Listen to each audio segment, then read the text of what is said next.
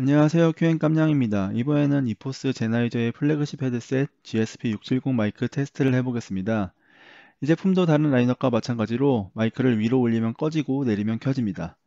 마이크는 라인업을 구분하지 않고 모든 제품이 출중한 기본기를 갖추고 있습니다.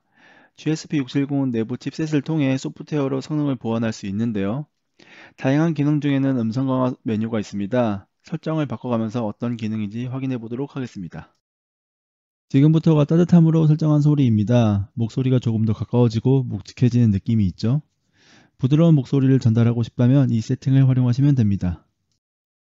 여기서부터는 깨끗함으로 설정한 상태입니다. 저음역대를 억제하고 중고음역을 강조한 세팅으로 목소리가 가벼워진 느낌을 받으실 겁니다.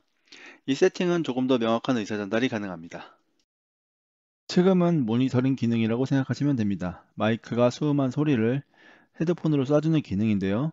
100으로 설정하기보다는 귀에 거슬리는 노이즈가 들리지 않을 정도로 값을 설정하는 게 좋습니다. noise gate는 특정 데시벨 이하 소리를 제거하는 기능입니다. 지금이 최소 값으로 설정한 상태입니다.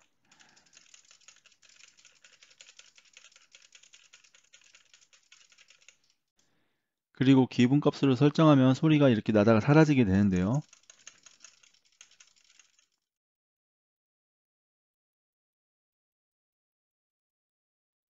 최대값인 100으로 설정하면 목소리조차 완전히 제거해버리기 때문에 기본값인 40 정도로 두고 사용하시면 됩니다. 훌륭한 마이크를 상황에 맞게 세팅까지 할 수 있으니 마이크로 인한 불만이 있을까 싶습니다. 저는 사용하면서 불편함이 없었는데요. 마이크 성능을 중요하게 여기는 분이라면 이포스 제나이저 제품을 선택하시면 됩니다.